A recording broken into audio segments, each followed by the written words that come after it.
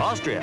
The joy of winter sports at Kitzbühel, exhilarated in the alpine air. Imagine being Erik Grahn of Sweden, setting off on the slalom, an event counting in the Skiing World Cup. And if you can't imagine it, never mind, it's a terrific thrill to watch anyway.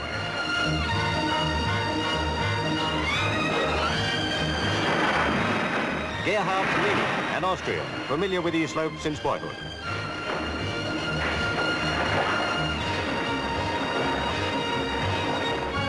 In great form, the world champion, Jean-Claude Killy, already leading in the World Cup standings.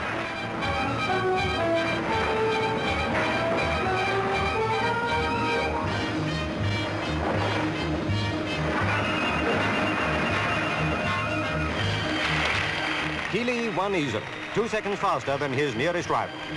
Now the three-mile downhill race. And going well, Franz Vogler, Western Germany.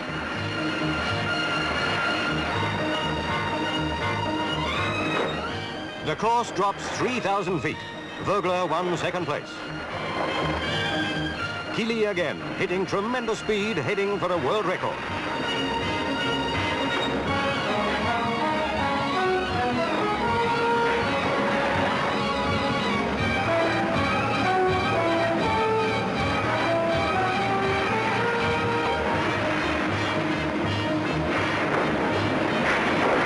The new downhill record holder, Jean-Claude Killy.